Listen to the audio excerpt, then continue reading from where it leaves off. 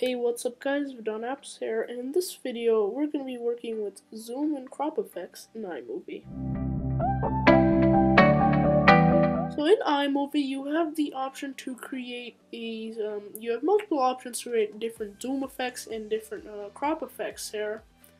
So by default this is a standard image, not a video, so if we go ahead and drag that into the timeline, you can automatically see that iMovie has a Ken Burns effect applied to it. Let's say we don't like it or we want to make it different. So automatically when clicking on the crop button right here, we can have it start at a certain point and have it end at a certain point as well. So let's say, let's have them both the same size. Okay, that looks good to me. Okay, now if we watch this, we have got a different effect going, and we don't even have to do Ken Burns altogether. And of course, we can flip it around, so now that has become start. Let's uh, take a look at it.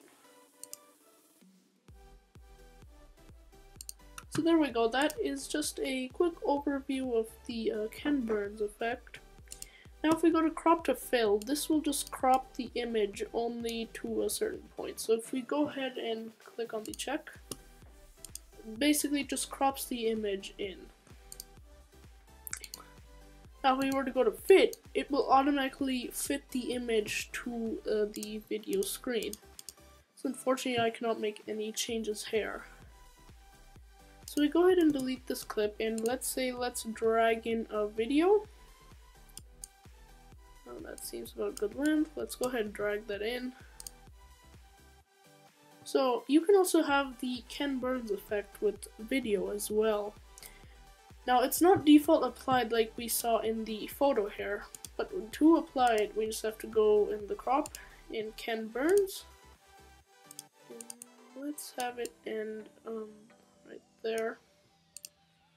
So over throughout the whole video, the end of the video is the ending point that you selected.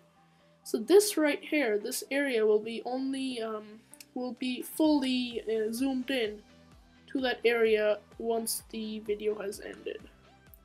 Let's go ahead and check that and let's see how it looks. And there you go, so that is the Ken Burns effect. Of course we can switch it around. So let's say we wanted to start like that. And there we go. Now we also get a crop to fill, which is again just cropping it to the way you like it.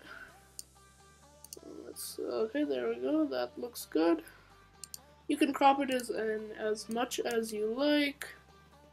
If we wanted to do it, uh, let's make it a bit bigger. We wanted to crop it in even more. Of course, it does lose the resolution aspect of it but you can do that as well.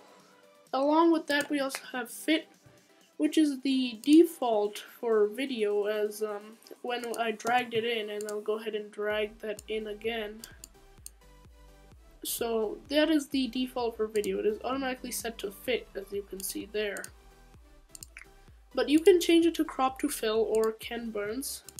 So what we can do is um, go ahead and do something like this. And there we go. So it's just gonna go to corner to corner.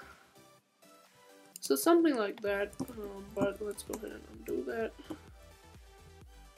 But yeah there we go. So working with effects in iMovie. Anyways guys thank you so much for watching. Do subscribe and I'll catch you guys in the next video